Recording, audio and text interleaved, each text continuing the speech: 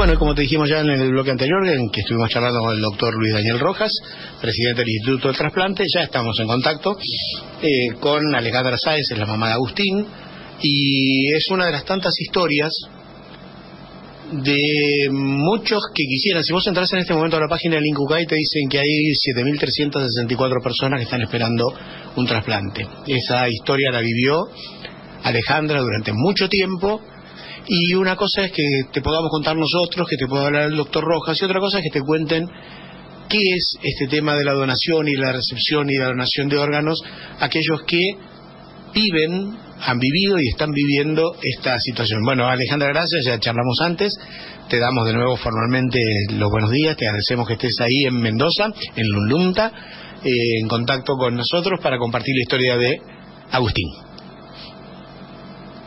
Bueno, mi nombre, como decís vos, es Alejandra, mi hijo es Agustín. Eh, tuve el receptor, un trasplante bipulmonar y una cirugía en el corazón. Eh, su enfermedad de base, como muchas veces lo contamos, es la hipertensión pulmonar. Para muchos no saben qué es la hipertensión pulmonar, pero es una enfermedad crónica que es el estrecho de las arterias del pulmón y la mayoría necesitamos un ángel llamado donante para poder eh, seguir viviendo. Hay tratamientos, por supuesto, pero bueno, llega un día que el tratamiento dice basta y tenemos que ir a la lista del Incucay y esperar eso, ese ángel, ese ángel que nosotros, yo por ejemplo a mi hijo siempre le dije, es un ángel, se llama donante, porque es toda la información que tenemos. Nunca, nunca pensé yo que la vida me iba a dar este placer de poder conocer donantes, ustedes, familias donantes. Siempre es como que nos vemos dos mundos y que en esos dos mundos transcurre nada más ni nada menos el acto más grande de amor que es un milagro. Porque los receptores eh, esperamos ese ángel y lo dan todo.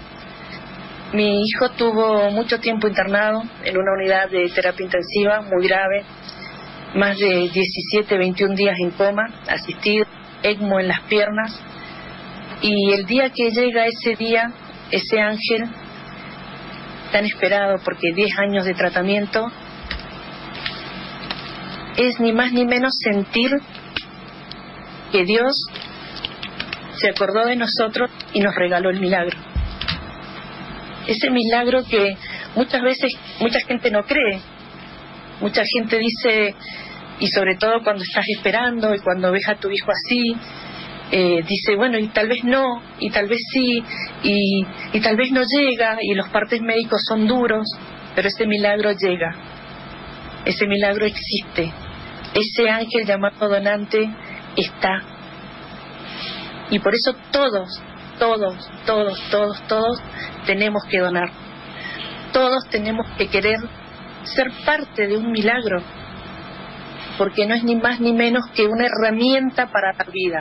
Mi hijo vive, más allá de todo lo que le pasó, las cirugías largas, trasladarnos, nosotros somos de Mendoza, de un pueblo, imagínense ir a la capital federal muchos meses, dejar nuestra familia, nuestro trabajo, dejar todo, vive.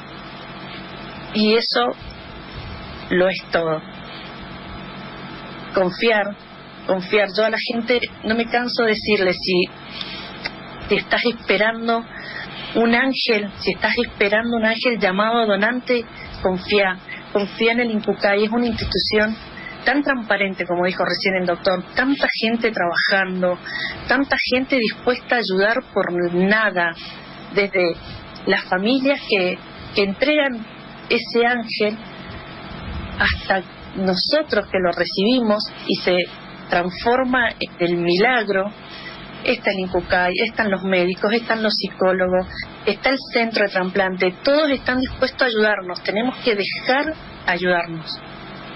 Es el principal motivo, es el principal motor, es la llave, es el secreto de este río, de esto que nos toca pasar, porque tanto como la familia donante, que no quiero imaginar la inmensidad de amor, de bondad, de corazón que tienen para acercarse a nosotros.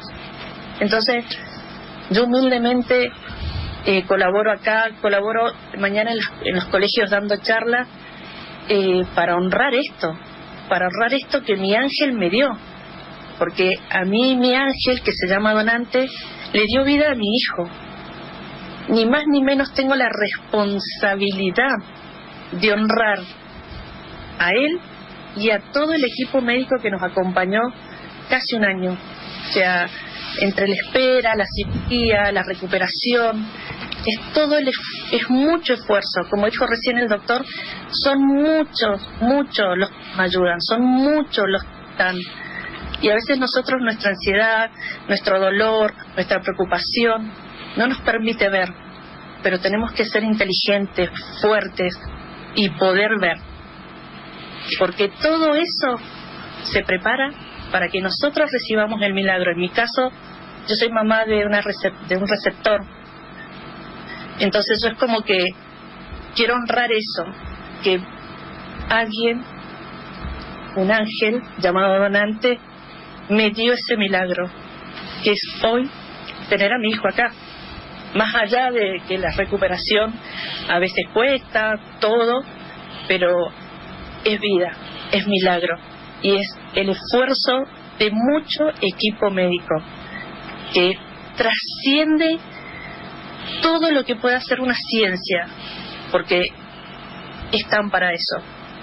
Hay cosas que corregir, por supuesto, siempre hay cosas que corregir. Hay métodos que nos gustaría que fueran mejores, ¿quién no? ¿Quién no le gustaría tener una psicóloga en, en la casa mientras espera? A todos. Pero también ponen todo, ponen todo, ponen sus conocimientos, su sabiduría, su paciencia, su mansedumbre, el amor, el amor como persona. Nosotros somos partícipes del acto más grande de amor que pueda existir en este universo. Nos preparan para recibir a nuestro ángel, que llega cuando Dios lo determina. Eh, Alejandra, Paula, Paula, Paula te quiere hacer una pregunta. Paula. Sí, hola Ale, te quería preguntar eh, dos, cositas. Sí. primero quería saber qué edad tenía Agustín cuando recibió el dona, eh, la donación de, de los pulmoncitos. 24, sigue con 24, es, ha, sido, ha pasado muy poco tiempo, el 26 de octubre él recibió a su ángel. Una mañana nos llamaron, porque es así, hay gente que desconoce cómo es, el centro de trasplante te, te llama, donde ya uno los conoce, a los médicos, conoce, porque generalmente se tratan ahí, y te dicen, entra en operativo de trasplante, y más allá de que eso es toda la ciencia, nosotros tenemos que saber que también entra el milagro en nuestras vidas. Y Ale, te pregunto, ¿cómo está Agustina ahora de, salud? ¿Cómo, ¿Cómo está? Y es eh, el trasplante bipulmonar y cuando llegan tan asistidos a la operación, es como que es, duro, la recuperación es más lenta, pero bien, bien, bien, bien. Ha sorteado episodios que son, son normales. Se tiene que cuidar mucho, usa barbijo, pero hay que hacerlo tiene una dieta especial porque, bueno, los inmunos le suben la glucosa, así que, pero estamos, estamos muy bien. El hecho de estar tanto tiempo con, con un ECMO y haber estado tanto tiempo internado y movilizado, está recuperando la movilidad de los miembros inferiores, así que no, no, no, no, camina, pero bueno, tuvimos eh, la bendición de recibir un milagro, así que hay que seguir fortalecidos y, darle para adelante. Muy animado, muy agradecido. Agustín trabaja, estudia, va a clínicas, eh, seguir sumando, a seguir aprendiendo, porque bueno, de, decir, bueno, tenemos conocimiento con hipertensión pulmonar, por eso conocemos a, muchos médicos que, que, se dedican de esa parte. Eh, ahora también conocemos a neurólogos, a kinesiólogos, vamos sumando. Vamos Alejandra, te cuento una historia que para algunos oyentes nuestros es conocida. Eh, amplío un poco lo que dije en, la apertura. Este, no me lo contaron esto. Eh, un día habían pasado cinco años eh, del fallecimiento de Martín y nada, estaba trabajando en la computadora y me aparece un mensaje diciéndome a alguien del otro lado, eh, yo soy el receptor del órgano del hígado de Martín. Este, bueno, te imaginas el impacto. Después verifiqué, viste que te dan un dato, digamos, se mantiene la privacidad entre el, donante y el receptor, pero vos sabés que, por ejemplo, el donante ha sido una persona de determinado sexo, determinada edad, de determinado lugar. Así que bueno, con esos datos mínimos yo sabía que esta persona que me hablaba, Julio, era de Tucumán y tenía la edad de, quien había sido receptor del, órgano de Martín.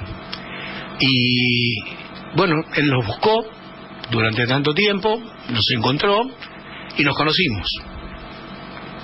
Con Julio, y le mando un abrazo gigante a, su familia, nos permitió vivir una historia extraordinaria, porque Julio, después del trasplante, eh, pudo ser papá de, una nena, de Tiara. Este, y para nosotros fue algo maravilloso, fue fue como dicen los chicos la, la frutilla del postre, ¿no? Fue fue algo tan, tan, tan maravilloso poder verlo. Una cosa es decirlo, contarlo, la teoría, y otra cosa es estar ahí, encontrarte y poder hablar. Este, te gustaría conocer al, al donante o cómo te imaginas quién es?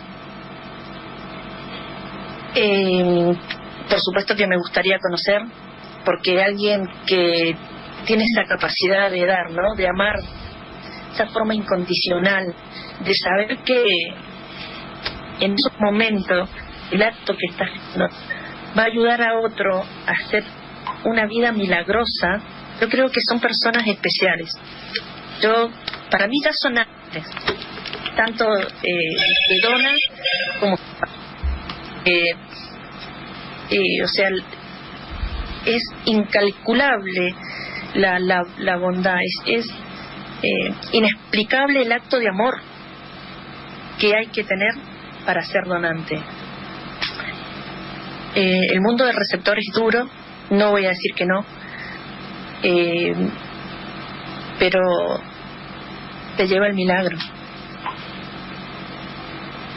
Entonces hay que estar con fe, hay que estar fortalecido, hay que dejarse ayudar, dejar ya de, tenemos que madurar de que esto no, que la lista, que no, no, hay que abrirse para recibir ese milagro.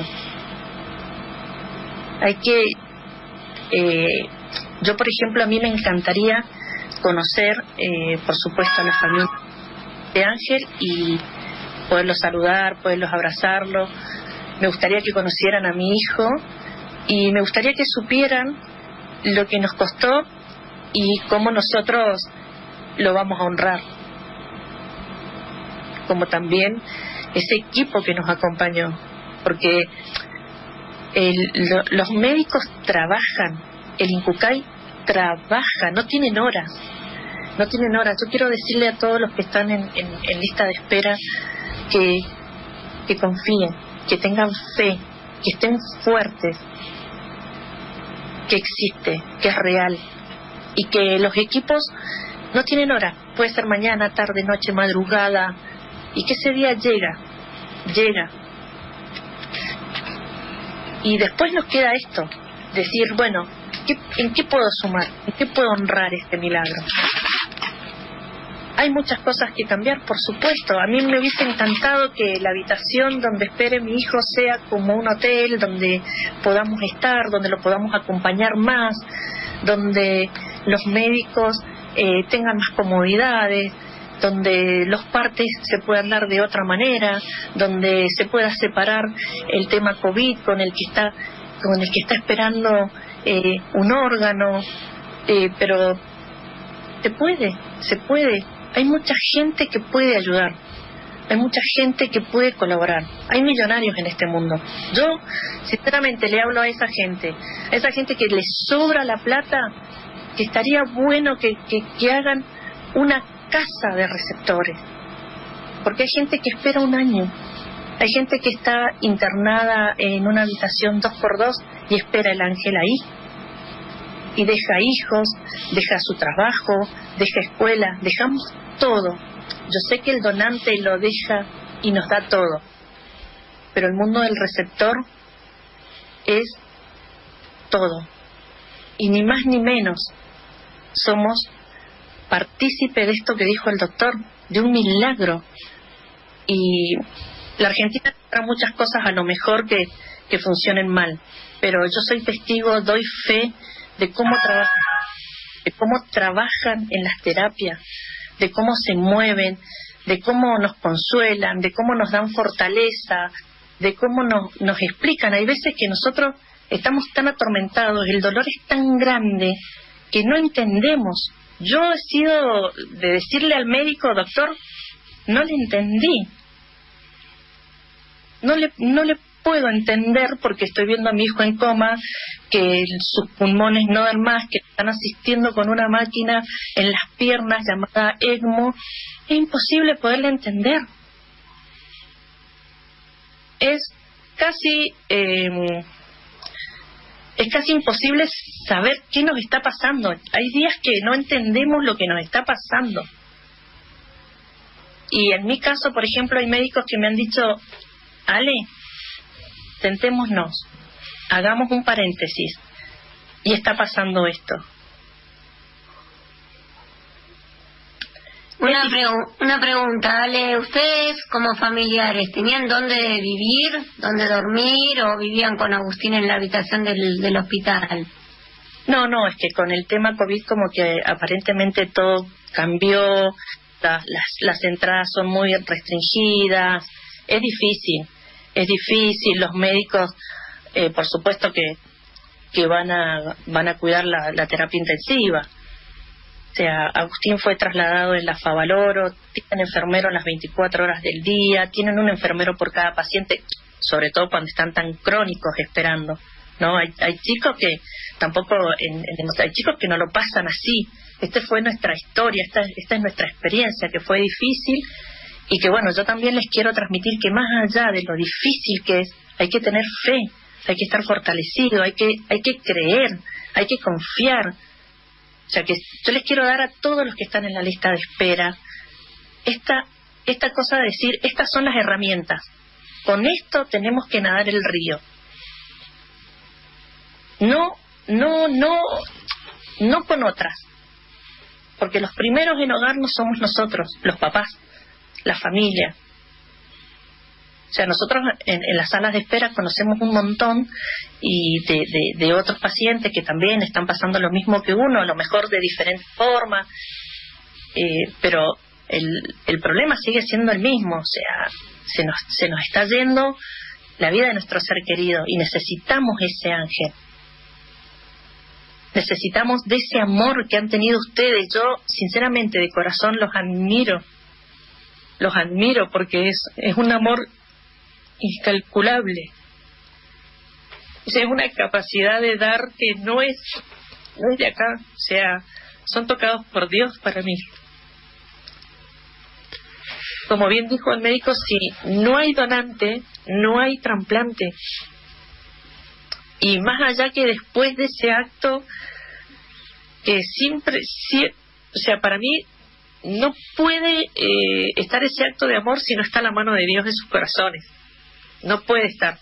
Más allá que después, acto segundo seguido, viene todo lo demás. y como explicó re bien profesionalmente, explicó el médico, y médicos, enfermeros, traslado, todo, hasta que llega el receptor y hasta que eso vuelve a vibrar vuelve a dar vida hasta que se termina el milagro. Es, es increíble. O sea, somos personas que no podemos decir, Dios no nos prepara para esto. O sea, yo sinceramente lo que más me motivó a participar es conocerle. Es decir, quiero saber cómo, cómo, cómo mágica, qué, qué fue la magia, cómo son, qué pasa por sus corazones para poder transmitirle eso hoy a la gente. Estos papás donaron y no fue a mi hijo, ellos no le han donado a mi hijo, pero yo también recibí un ángel como como como ustedes, porque gracias a, papás como ustedes, mi hijo recibió ese ángel llamado donante y hoy vive. Y los médicos pusieron todo para que esto saliera, pero yo me, me, me pregunto sus corazones. O sea, escuchemos a, a estos papás, porque así tenemos que ser, así nos tenemos que convertir. Ya basta de tanta violencia. Nos tenemos que convertir en esto, en lo que son ustedes. Ustedes son ejemplos. Escuchen, escuchen esta radio, escuchen este programa, porque les hablan personas de amor, personas que han dado milagros de vida les habla personas que tienen un corazón indescribible, o sea, ustedes no se los puede describir porque no existe palabra para las personas como ustedes. Te agradecemos mucho, Alejandra. Este todo momento y poder dar. Eh, no hay una descripción. Me, me parece, se nos acaba el tiempo del programa, pero creo que no no, no, no, no es necesario agregar absolutamente nada a esto que, que vos dijiste, simplemente agradecerte, mandarle un abrazo a Agustín, que sí está en terapia en este momento, nos habías contado. Eh, no, no, eh, ahora se fue a la clínica. estuvo estuvo en, en, terapia porque, bueno, sorteó así como una suba muy alta cosa, pero gracias a Dios salimos, salimos nuevamente. Así que bueno, te, te, agradezco nuevamente en nombre de todos los que hacemos el programa y bueno, nos vamos mm, repitiendo un fragmento de, del tema que elegimos para, para musicalizar este programa que se llama de eso que vos hablaste tanto, esperando el milagro. Que espérenlo porque yo le garantizo que llega. Chao, hasta el lunes que viene.